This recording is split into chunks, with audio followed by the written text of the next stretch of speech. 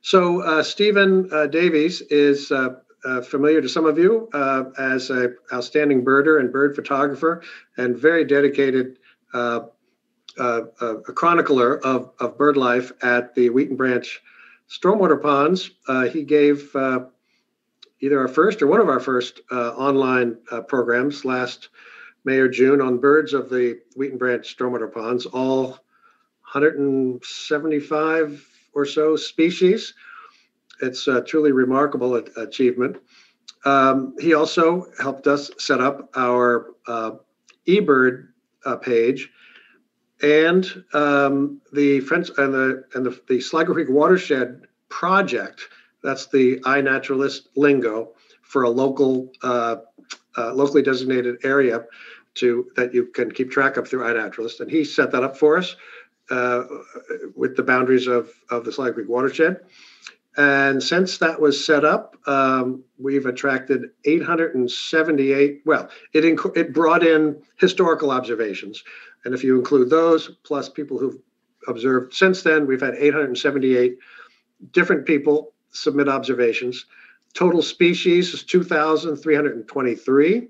That's native and non-native. May include some misidentifications, but anyway, more than 2,300. Uh, 900 species of insects. We happen to have several really, really good uh, scientists uh, on uh, in our watershed who document insects. I encourage you to look at those. 873 species of plants, 210 species of mushrooms, 165 species of birds, as well as spiders, amphibians, reptiles, and mammals. We're very glad to have Stephen with us today because he is the number one uh, uh, uh, a submitter of observations with 3,867 postings on iNaturalist, 555 species.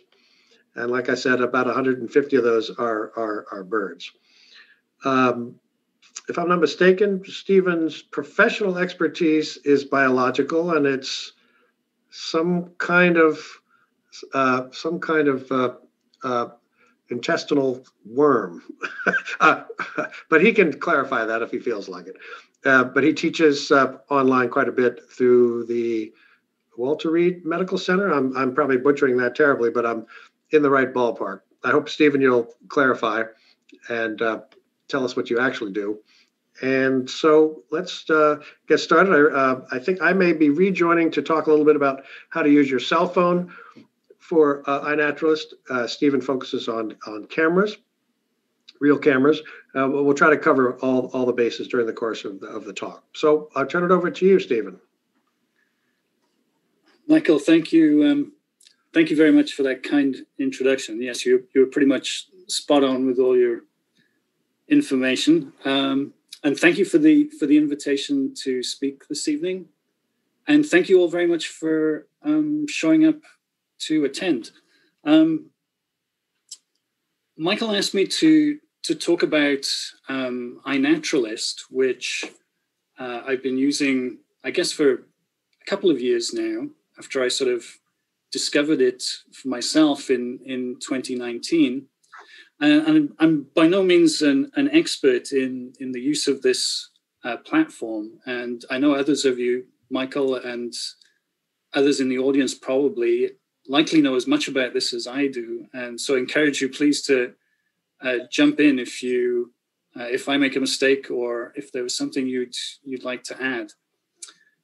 Uh, but what I wanted to do, I guess, with this presentation is sort of give you an overview of, of what exactly iNaturalist is, and um, explain to you uh, in sort of brief terms how you can get involved and participate and submit your own observations and try and make that it is a relatively simple process. And so if you are feeling some inertia um, about that uh, hopefully we can demystify that process for you and encourage you to to actually participate for yourselves.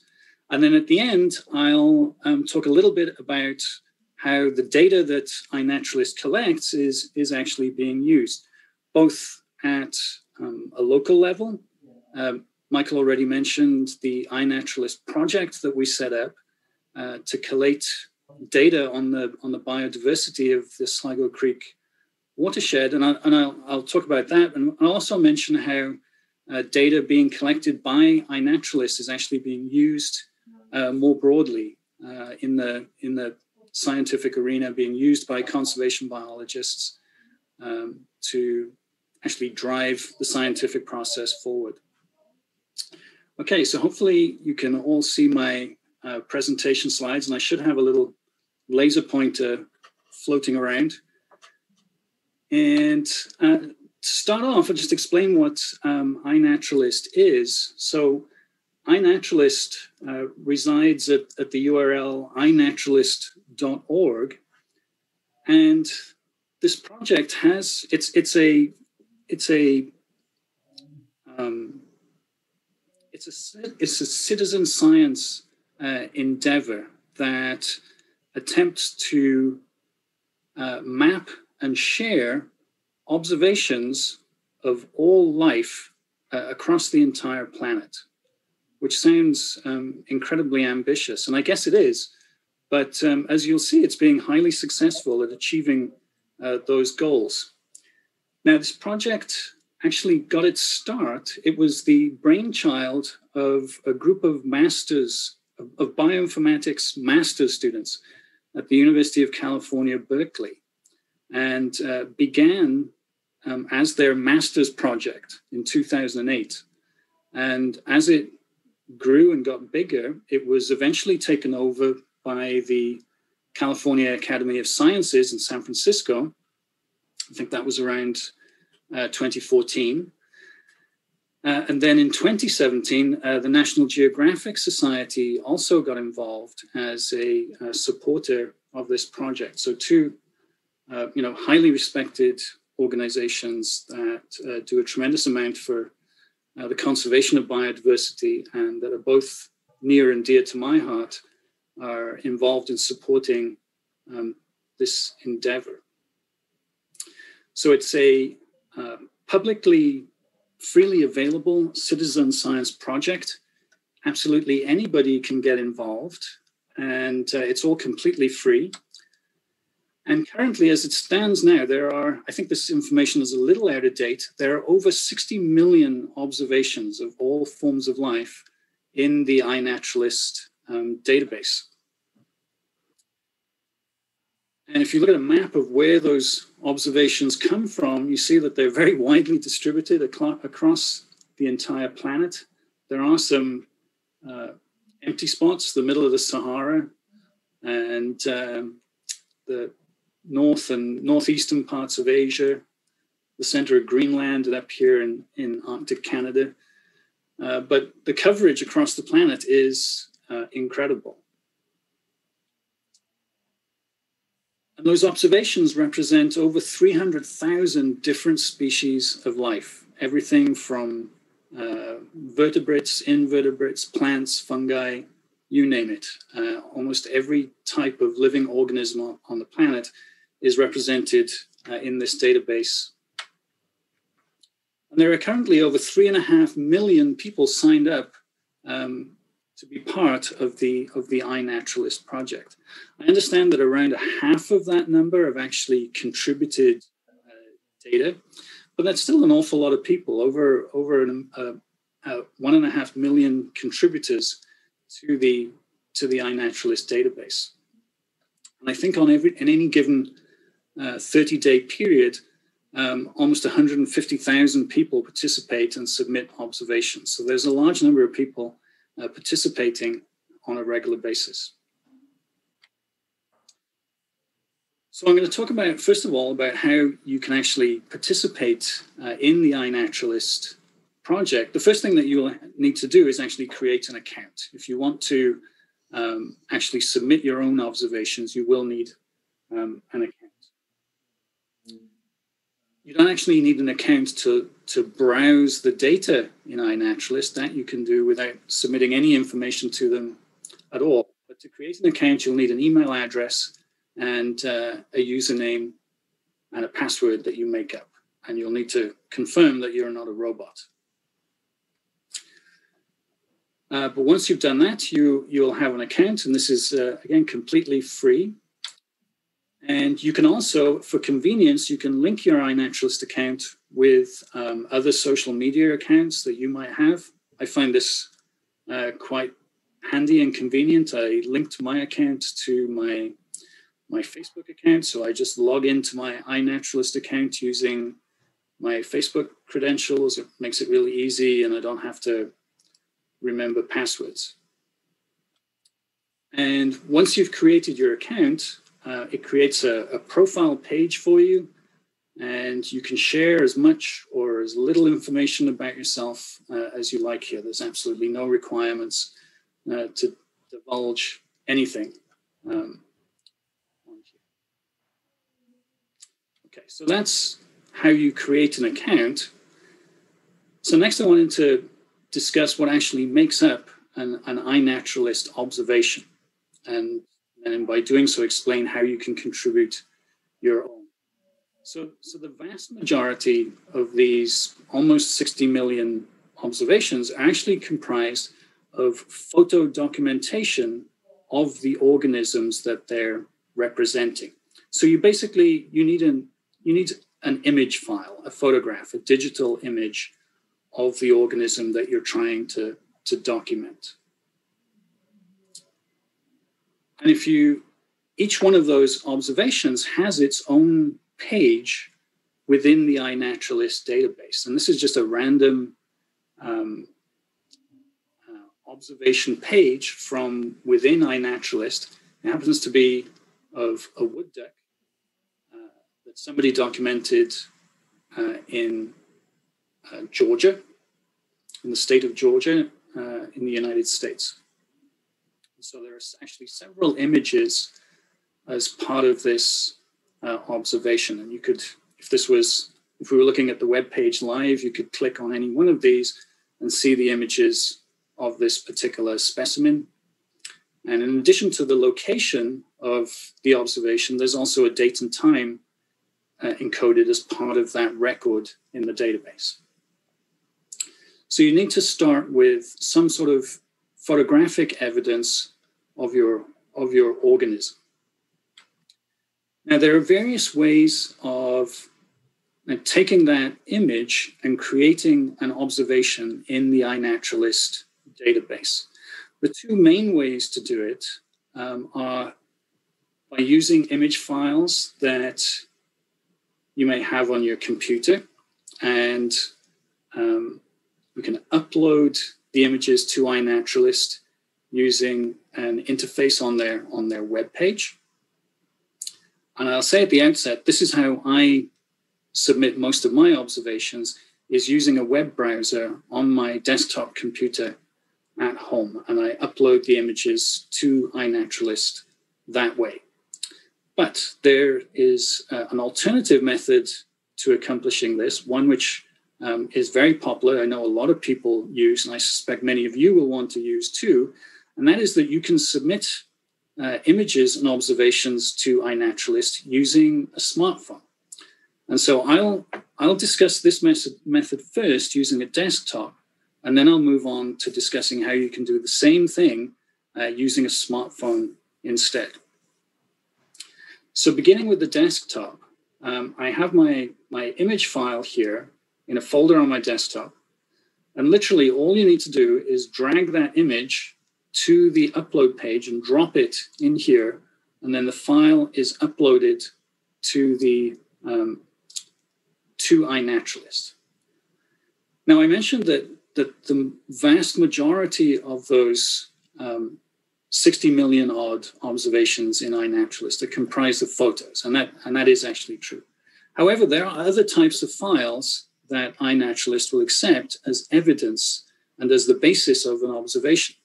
So the other thing that you can use is a digital audio recording um, of your organism.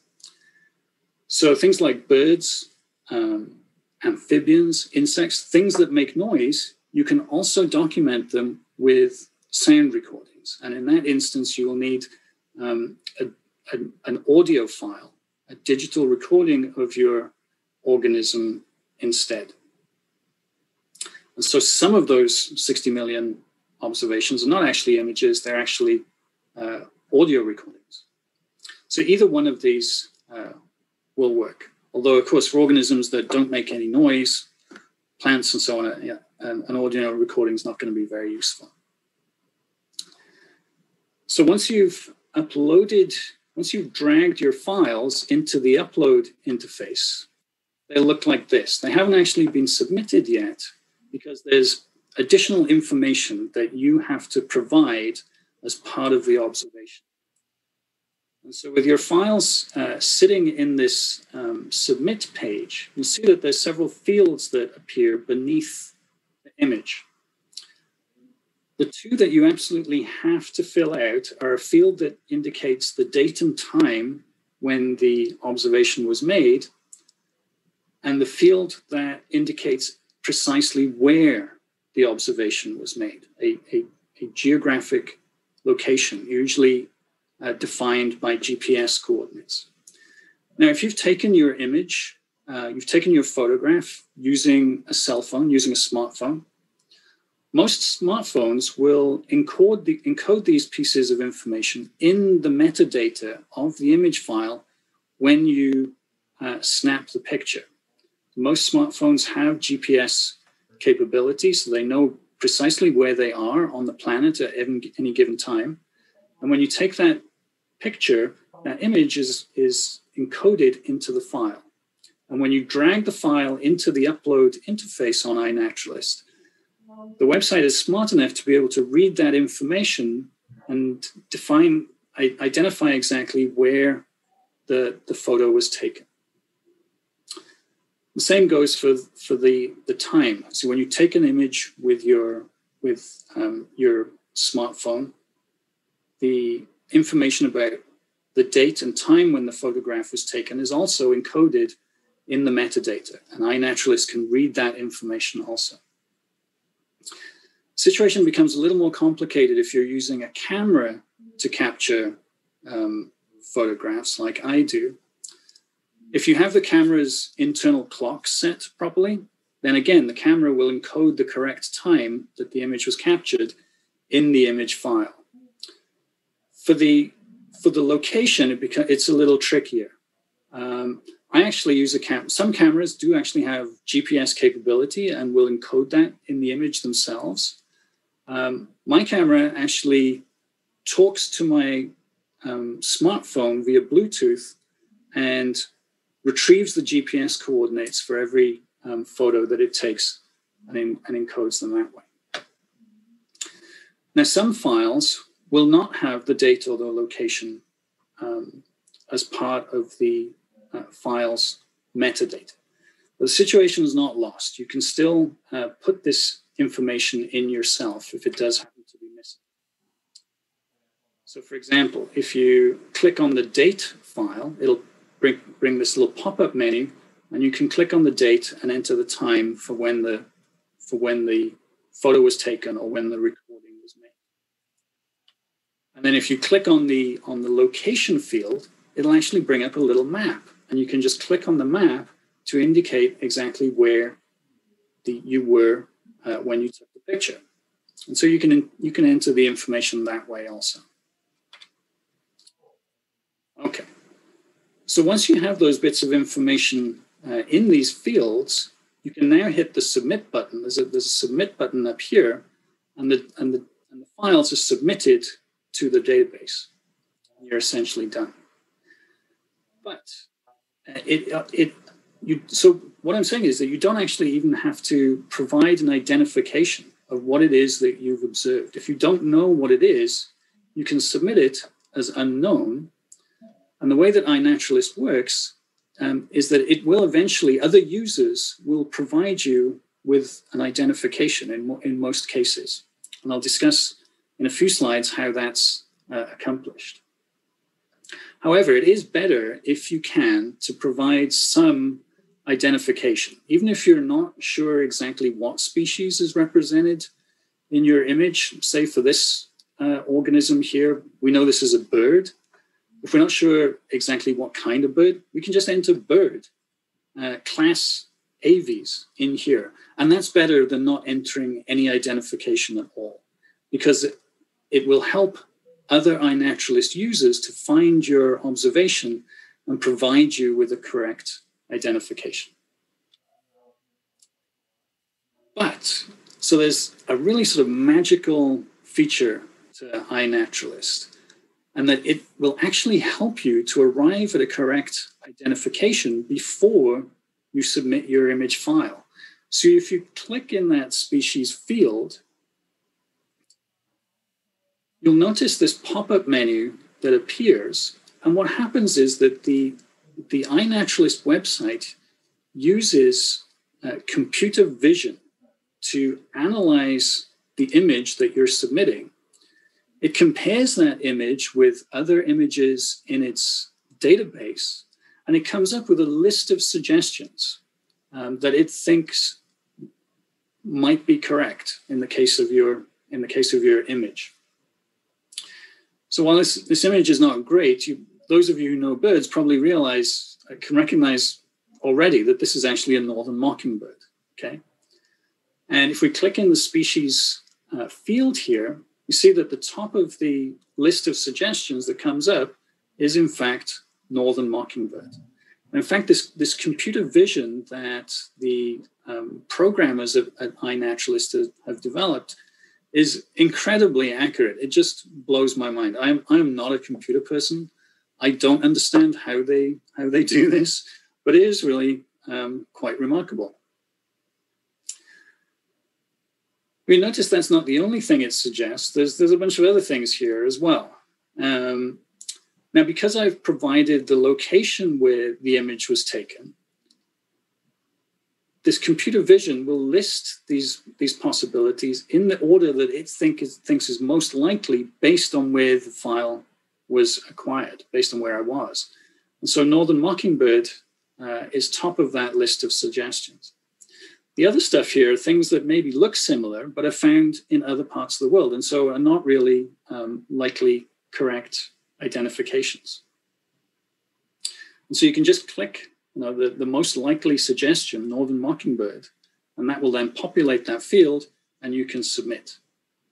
If you're not sure, you can, you can leave your identif- identification at a more general level, maybe just at the genus level, sort of hedge your bets uh, and see if you can arrive at a more correct identification later on. If you're unsure, you can actually click on this little view link here, and it'll open another browser tab that shows you more information about that species. And so, in the case of uh, northern mockingbird, it opens a page. This is the iNaturalist, iNaturalist page for the species northern mockingbird.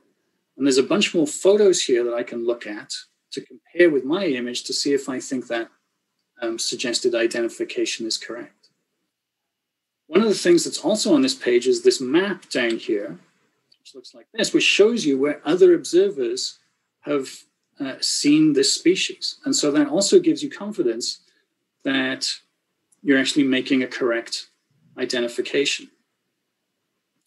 If you still weren't sure and you wanted to consider whether maybe some of these other options might be the correct identification, you can look at the species pages for those species too. So, for example, the next, I, I know this is not a common chaffinch. I grew up with those in my parents' backyard in Wales, so I'm, I'm pretty confident it's not that.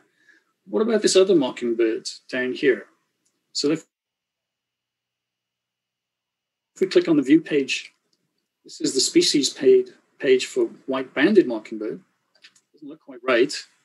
If we look at the map, we see that this is actually a South American species. Okay, so that's much less likely of being the correct uh, identification. So all of these um, additional resources can help you confidently arrive um, at the correct identification. Okay, so I've selected Northern Mockingbird. Now all I will have to do is, is hit the submit button up here and the observation is uploaded to iNaturalist, and it now has its own page for this observation.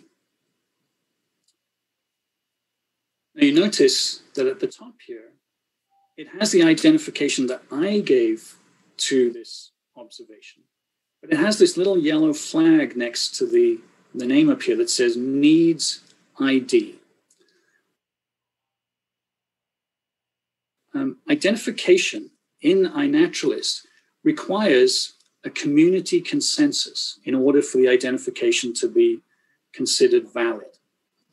And so this observation now is just waiting for other iNaturalist users to come along and either agree or disagree with my identification. So this is an observation I submitted uh, a couple of days ago.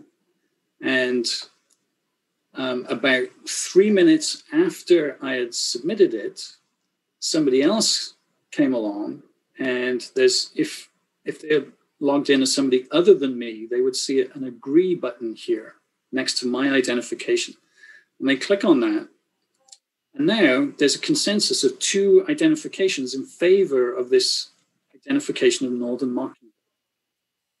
So now there's consensus over the identification, and it, this little flag up here changes to research grade, which means that it's been that the identification has been verified by other iNaturalist users. Okay. Now, um, there's kind of a, a, sort of a running joke uh, amongst iNaturalist users about how quickly or slowly some of these identifications are um, confirmed. For, for popular species like, like birds, uh, as you just saw, uh, identifications can be confirmed extremely quickly within a matter of minutes. For other, other organisms, it can take longer. I would say that this is a little unfair and that um, organisms like mammals, reptiles, uh, amphibians, there's lots of people, lots of iNaturalist users out there enthusiastic about these taxa. And, and those observations also get confirmed very quickly. Um, however, I, I will say that this is fairly accurate. I have some fungus observations that um, have sort of been languishing in a needs identification state for a long time. And I think that's perhaps more reflective of the fact that actually some fungi are actually really hard to, to identify. And maybe I didn't provide uh, the optimal photographs for confirming an identification. Now, with that northern mockingbird observation I just showed you, um, I just had the one photograph.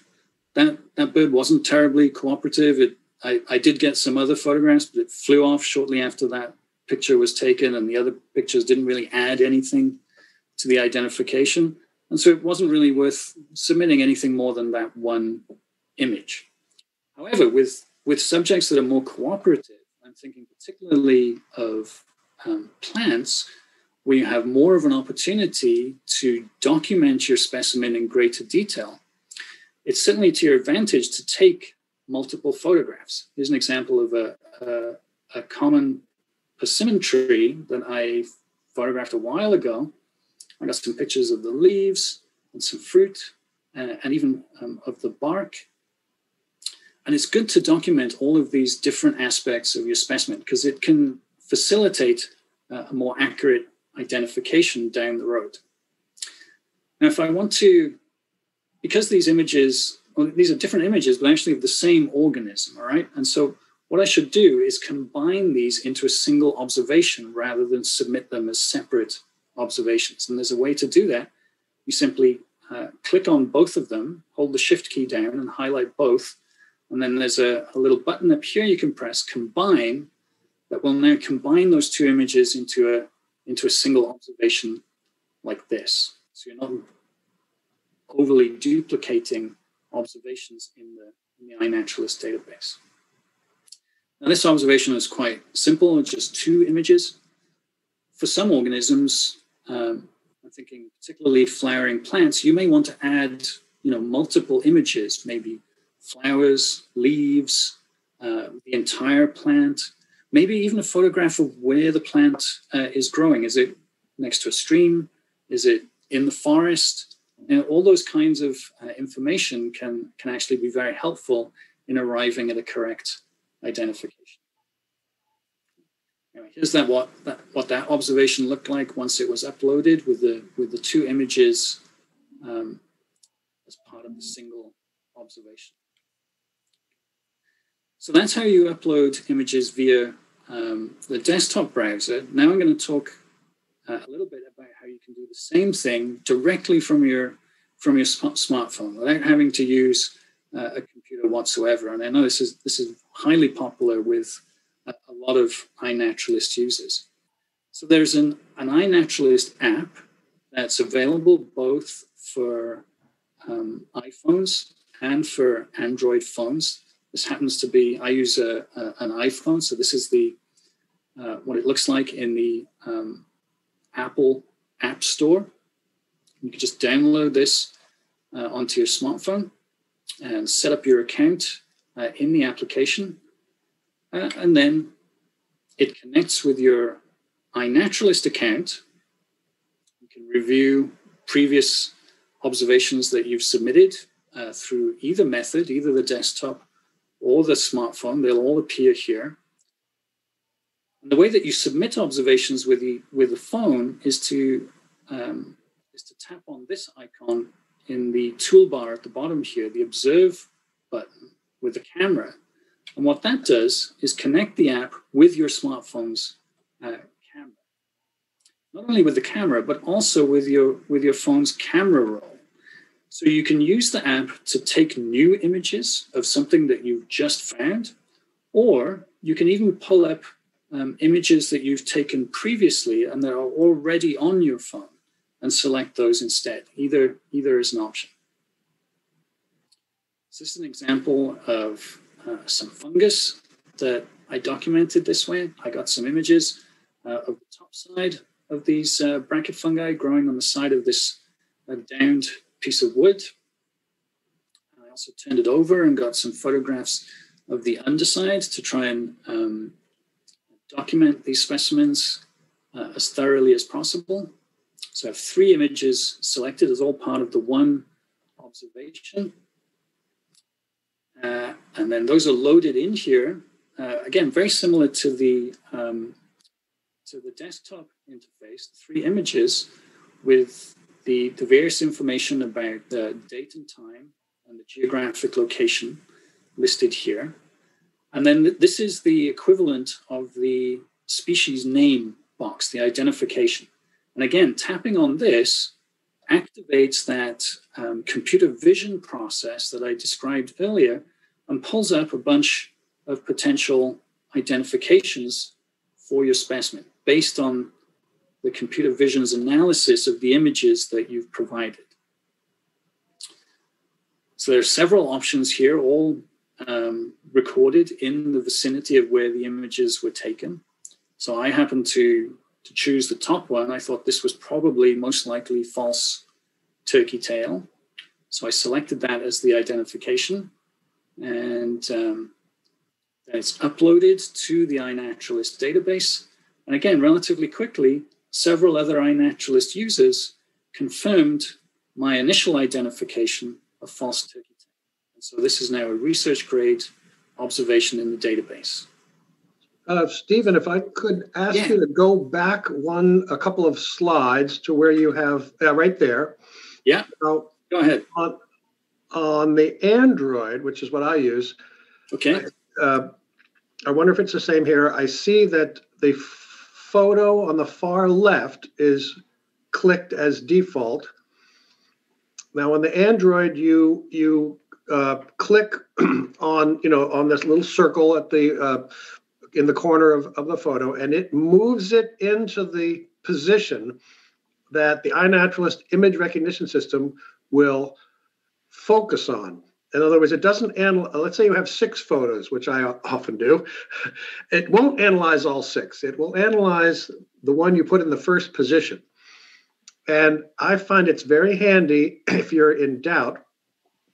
You can click on a different photo it moves it into the primary position, and then the iNatural system analyzes that perspective, that view, perhaps from underneath, in a case of a mushroom, and gives you a different or the same. So if you get, um, say, you have a fruit and a flower, well, we wouldn't have that, but let's say you have a, a leaf and the bark.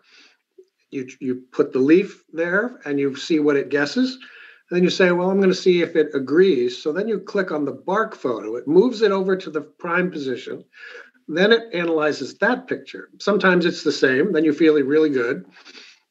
Sometimes it's totally different. And then you are back to the drawing board, sort of. But does that also work in the Android system? Yeah, so that's an excellent point, Michael. And, and and yes, it is exactly the same in the in the Apple platform. Um, and yeah, thank you for bringing that up because yes, that analyzing each of the different images can um, either help you build a, a consensus as to uh, what the correct identification is, or might make you less certain about the identification and, and may lead you to want to hedge your bets and go for a more general um, identification instead.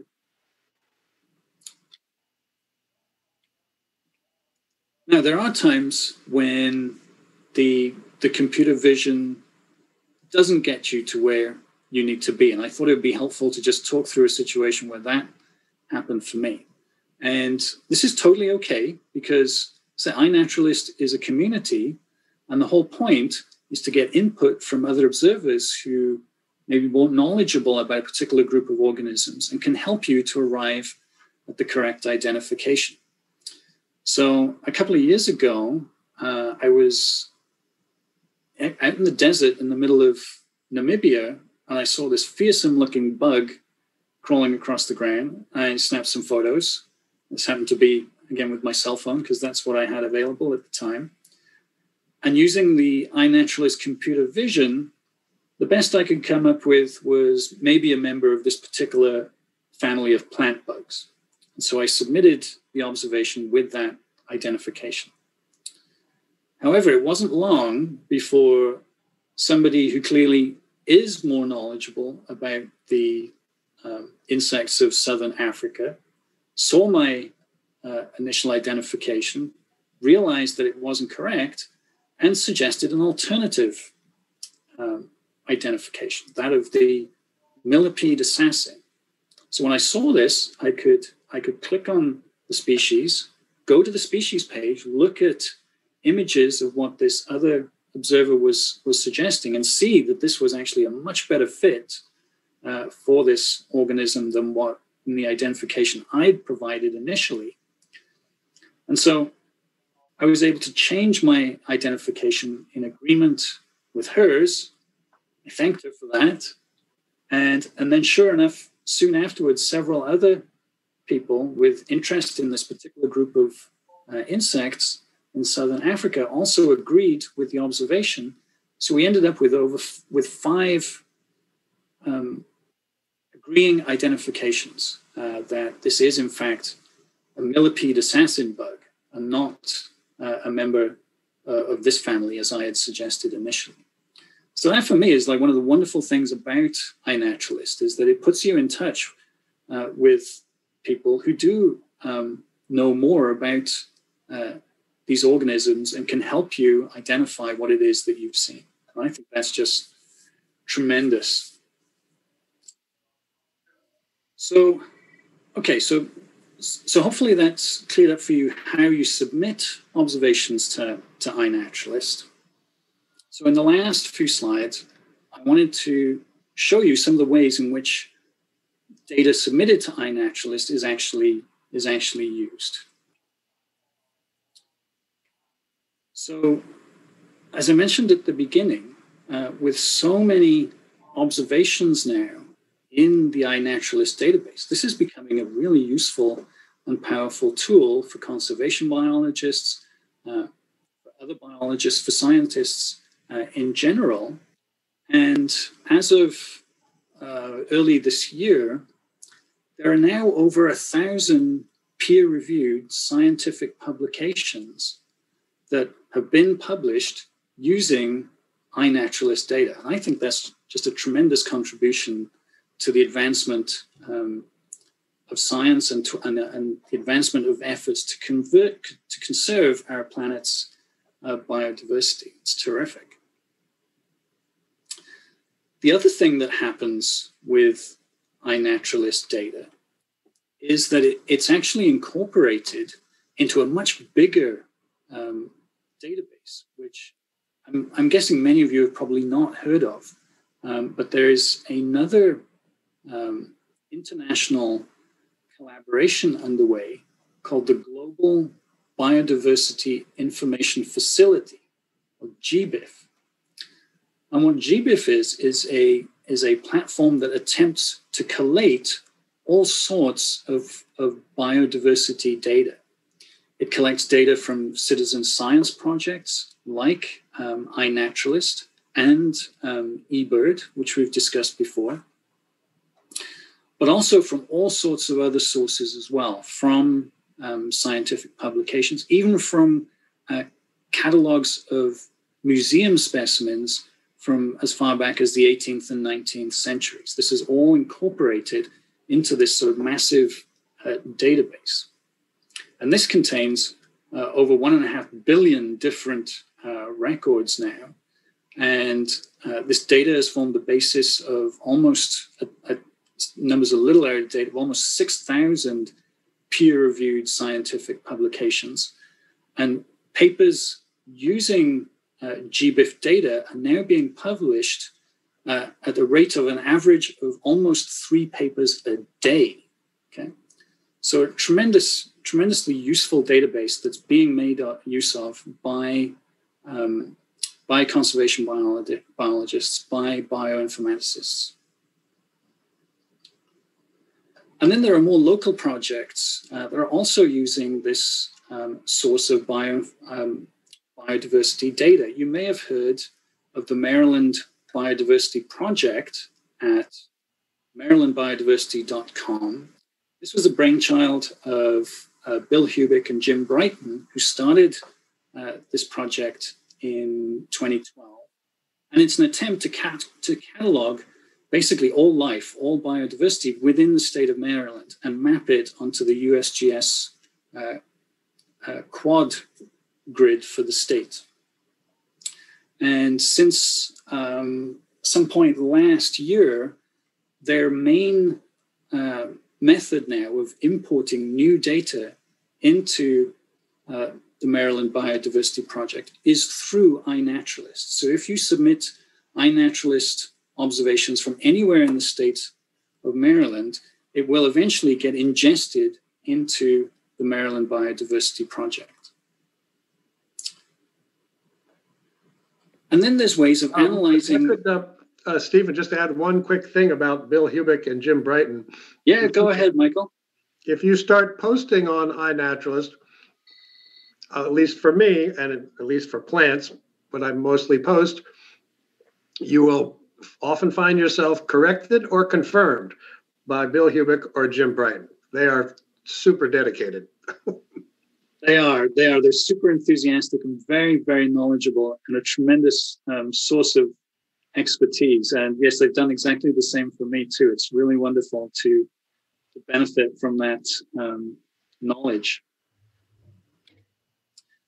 So there are all sorts of ways of, of analyzing data from right within iNaturalist. Um, when you go to the iNaturalist page, there are some tabs across the top here. There's one for community, and if you click on that, one of the things that pops up underneath is projects. So there's this there's this thing called iNaturalist projects, which is basically a way of collating iNaturalist observations based on any sorts of parameters that you're interested in. It can be taxon based. So, for example, there's a project here looking at the leaf miners um, of North America, or it can also be, uh, be based on geography, or both, as in the case of this um, project here because it's leaf miners exclusively um, of North America.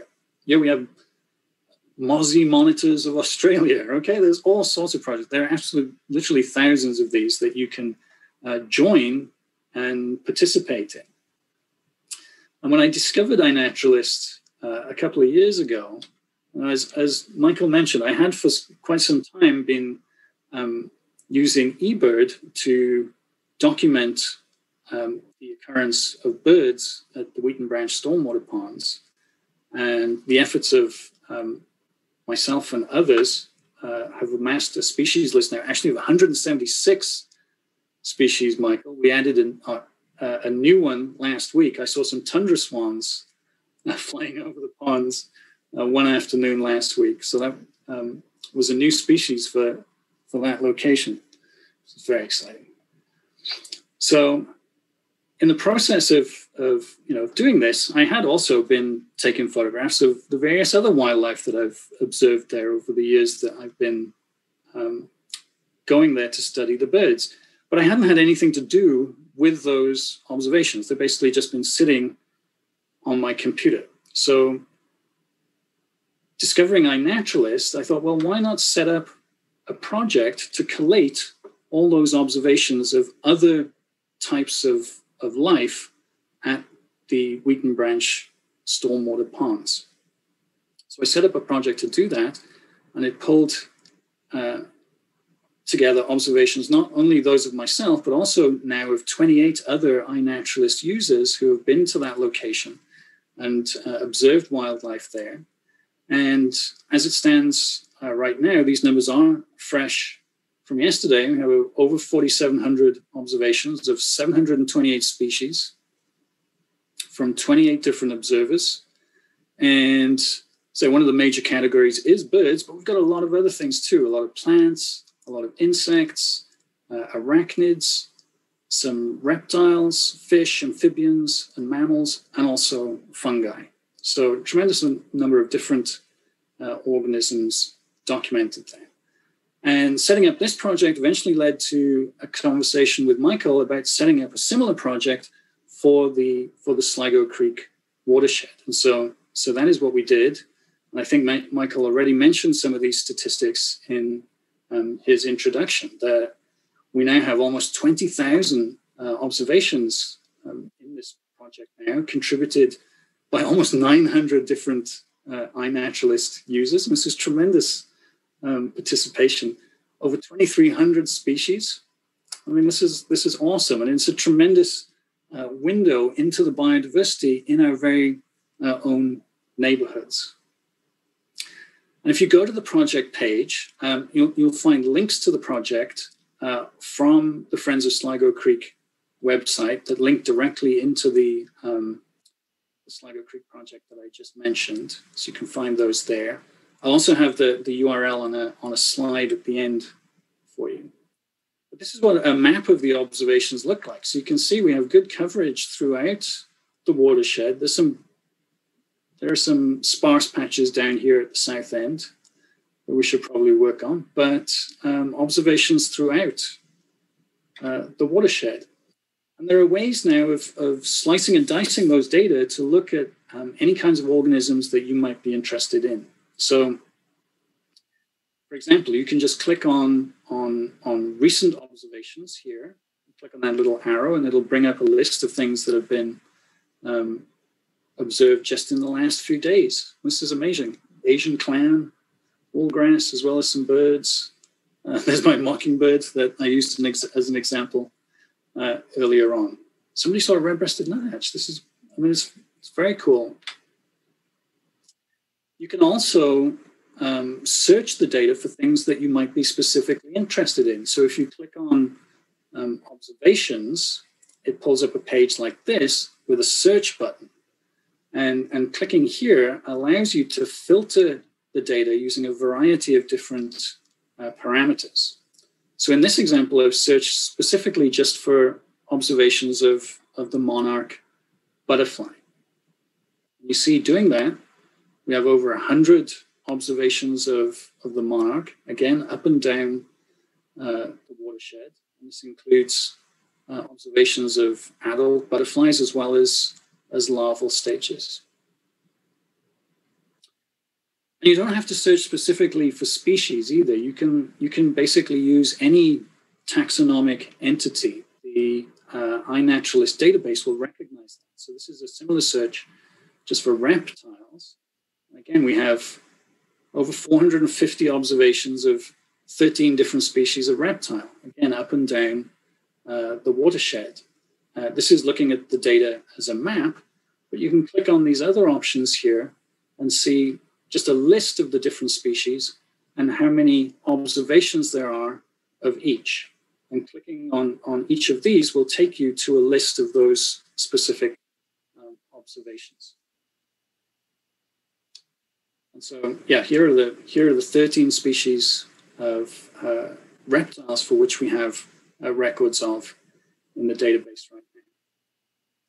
So, yeah, it's I, I have found this. I feel I feel like I learn something every time I I go to the data and play with it, and it's a constant. And, and, really, there I there's no better way for me explaining to you how to sort of play with the with the data is one thing there's really no substitute for going to the website yourself and playing with different searches and seeing what things uh, you can find in the data and i find that i i learn something new uh, every time and i'm inspired to to go out and, and look for those things and try and find uh, what other things i can find in in our in our neighborhood and I think, especially over the last 12 months, I think many of you have probably felt uh, similar to me that it's very easy to sort of slip into this rut where you feel like all you're doing is, is literally going from the computer to the couch to bed and back again on this cycle. And I have found iNaturalist to be uh, a great source of um, inspiration to sort of get me out and, and engage with biodiversity uh, in my in my yard, in my neighborhood, and in other places uh, throughout the Sligo Creek watershed, while the opportunity to travel further afield is not um, available to us.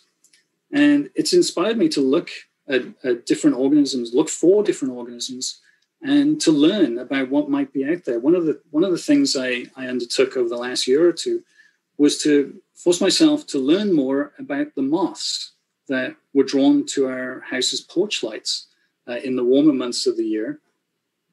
I have to say, I knew very little about uh, the moths of North, North, America. I did have a, I do have a field guide to the moths of the northeastern United States, and honestly, I open the pages; they all look the same to me, um, and I find it very difficult to sort of distinguish between them. But I decided to make an effort to document what species were occurring uh, around our house.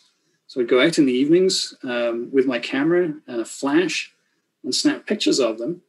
And with the help of, of iNaturalist and other iNaturalist users, I now have, have documented almost 120 species of moth um, around our house. And it's actually a really fun way to, to spend the evening. These are images of just some of them, these nine different species.